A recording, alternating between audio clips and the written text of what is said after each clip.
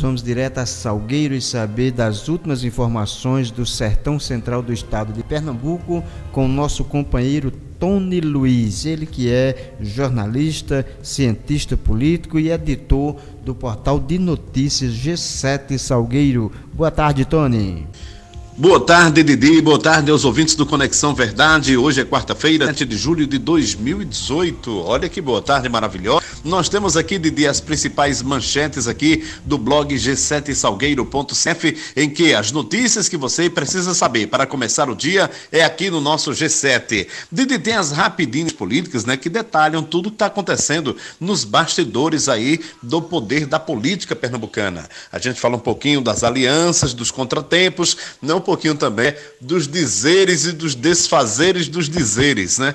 Que é uma tendência muito grande. Hoje você dá a benção a Deus e amanhã o diabo na política, né? Assim se fala. Assim foi com o Armando Monteiro, que foi para Curitiba dar a benção a Lula e no outro dia já estava trocando alianças né, de fidelização com o Aldo Alckmin assinando assim, acenando assim que irá votá-lo. Olha que coisa, né? Um dia e amanhã já é outro dia, e como é que funciona isso?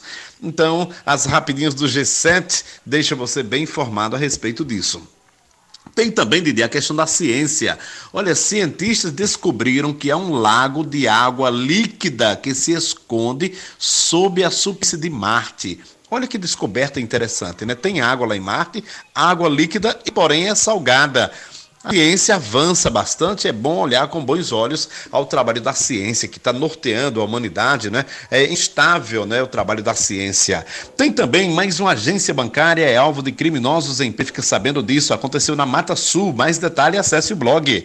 Petrolina, policial militar morre em acidente, né? E após se envolver nesse acidente na BR 428 tem morrer policial militar na cidade de Petrolina. Teve também aqui em Salgueiro o bispo Dom Magnus impulsou os novos sacerdotes na paróquia de Santo Antônio. Aconteceu ontem em frente à catedral, numa missa campal, ontem à noite aqui em Salgueiro. E a prefeitura é empresa para monitorar o transporte escolar. Isto é, aperfeiçoar o transporte escolar para que não haja aquele contratempo que dias anteriores estavam ocorrendo, meses anteriores, e foi um caos aí no, na questão do transporte escolar.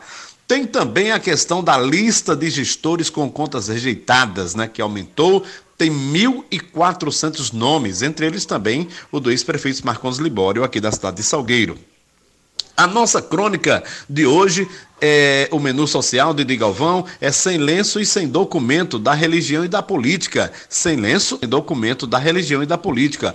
É uma via que a gente coloca, abrindo os olhos das pessoas, que para a gente ser feliz de verdade, necessariamente não precisamos ser submissos né, à política e à religião. Porém, sabemos que a política rege a nossa vida social, a religião rege a nossa vida espiritual, Porém, algumas coisas fazem com que haja um teor de maldade, um teor de prejuízo social também. Então, a gente atiça um pouquinho nessa crônica para que você consiga ter, elevar um pouquinho e planar-se sobre a situação para que você possa descobrir um pouquinho que você pode ser feliz, pode ser capaz de ser útil e servir ao próximo, independentemente da sua religiosidade e também distante e muito distante da política.